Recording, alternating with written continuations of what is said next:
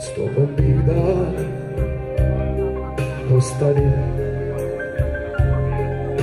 Kao šuma hrastova Pokoja kap kiša nije omela brojne obožavaoce na Trgu kulture u Šidu da prisustuju koncertu našeg poznatog pevača i sjajnog izvođača pop i rock muzike Bojana Milanovića, koji je i ove godine u sklopu kulturnog leta svoje sugrađane obradovao muzičkim spektaklom za pamćenje.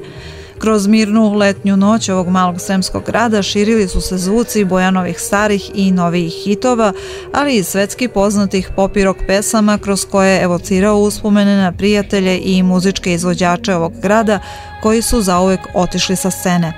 Baršunast glas, pozitivna energija, puno ljubavi i topline kroz pesmu je ono što nikada ne nedostaje na koncertima kada peva svojim sugrađanima. Pomalo je to i teško rečima objasniti. Šid je grad moje mladosti, rane mladosti, one srednje i kasne i, i uvek je to, kako bih rekao, za uvek ostane u duši, u srcu.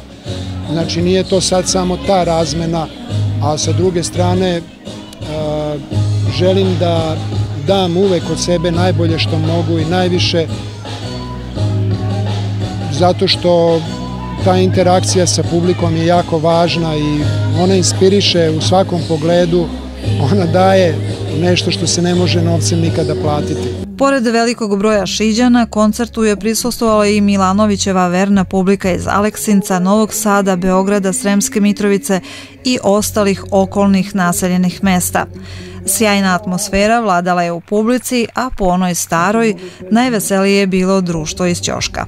Kao i proteklih godina, muzička pratnja na koncertu bio je bračni par Babić.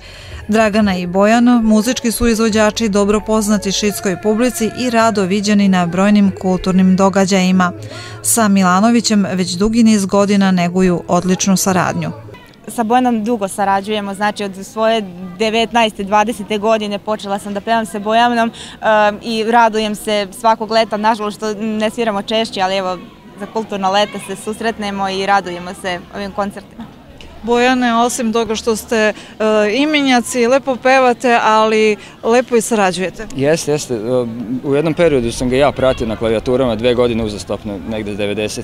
9. i svirali smo dosta po celoj Srbiji, po Bosni, na Jahorini i bilo je lepo. I sad ovo je neki nastavak posle više godina saradnje i nama je drago i u svakom slučaju smo uvek srećni kad nas pozove da ga otpratimo.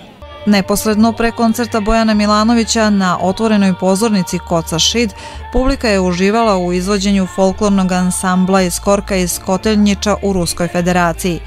Njihov fantastičan nastup pozdravljen je burnim aplauzom, a posebno poslednja tačka kada su otpevali pesmu Tamo daleko.